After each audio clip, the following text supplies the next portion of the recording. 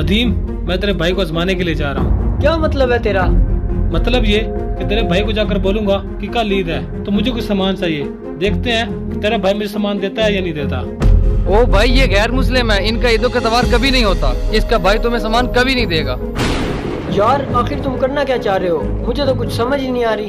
यार अदीम कहता है कि उसका भाई बहुत अच्छा है। तो मैं ये चाह रहा था कि सिर्फ़ उसको आजमाते हैं और ये देखते हैं कि क्या सारे गैर मुस्लिम एक जैसे होते हैं कि सिर्फ़ अदीम हमारे साथ अच्छा है। यार मेरी मानो तो ये हरकत ना करो। ओ यार कुछ नहीं होता। अगर तेरा भाई आजमाइश पर पूरा ना उतरा तो उसे बोल देंगे कि हम उसे आजमा रहे थे। अच्छा चल ठीक है जैसे तेरी मर्ज़ी। क्या हाल है भाई? मैं ठीक हूँ। आप बताओ क्या चाहिए आपको? भाई जैसा कि आपको पता है कि कल ईद है। तो घर के हालात कुछ ठीक नहीं है और मुझे कुछ सामान चाहिए था।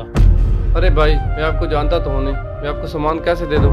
यार भाई तो पहले ही बहुत गुस्से वाले हैं। अगर लक्की ने वहाँ जाकर कुछ उल्टा सीधा बोल दिया तो मेरी शामत आ जाएगी।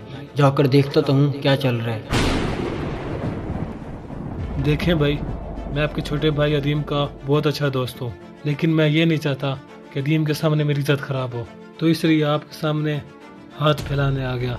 अरे मुझे तो नहीं लगता कि ये अदीम का दोस्त होगा। अगर मैंने इसे सामान दे दिया और ये अदीम का दोस्त ना हुआ तो? राम राम बड़े भाई ये मेरा बहुत ही अच्छा दोस्त है यार। इसको कंसेशन ज़रूर करना। कंफर्म हो गया कि ये अदीम का दोस्त है और इसने मुझसे बोला था। देखें भाई मैं आपके छोटे भाई अदीम का बहुत अच्छा दोस्त हूँ लेकिन मैं ये नहीं चाहता कि अदीम के सामने मेरी इज़्ज़त खराब हो। बड़े मान से मेरे पास आया था। इसकी इज़्ज़त खराब नहीं करनी चाहिए। हाँ हाँ अदीम इसने मुझे बताया है कि ये आपका बहुत अच्छा दोस्त है। इसका चार हज़ार बिल बना था और ये हज़ार इसका वापस। यार ये गैर मुस्लिम होने के बावजूद एक मुसलमान का पर्दा रख रहा है। देख ले अब मैं तुझे कहता था ना मेरे भाई बहुत अच्छे हैं। अब तुझे यकीन आ गया?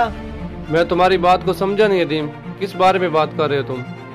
भाई ये देखना चाहता था कि सारे गैर मुस्लिम अच्छे होते हैं या सिर्फ़ मैं इनका दोस्त होने की वजह से अच्छा हूँ और ये आपको आजमाने आया था। और शुक्र है भाई आप इसकी आजमाइश पर पूरा उतरे हैं। देखो अदीम तुमने पूरी ज़िंदगी में मुझे इतना दुख नहीं पहुँचाया। जितना ये हरकत करके आज दुख पहुँचाया है। दुख? क्या मतलब है भाई का? भाई क्या मतलब आपका? देखो अदीम अगर मैं आज तुम्हारी आजमाइश पे पूरा ना उतरता तो मेरा म्यार तुम्हारे सामने और तुम्हारे दोस्त के सामने हमेशा के लिए गिर जाता। और एक बात हमेशा याद रखो रिश्ते आजमाने से हमेशा कमज़ोर होते हैं मज़बूत नहीं।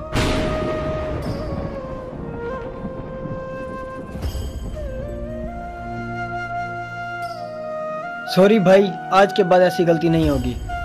मौला अली अलैहिस्सलाम फरमाते हैं कि कभी भी अपनों को नहीं आजमाना चाहिए। क्या पता आपका अपना, आपके आजमाइश पर पूरा ना उतरे और आपसे दूर हो जाए। तो इस सूरत में नुकसान आपका अपना ही होगा। दोस्तों काइंडली इस वीडियो को शेयर कीजिएगा ताकि ये वीडियो मजीद दोस्तों तक पहुँच सके।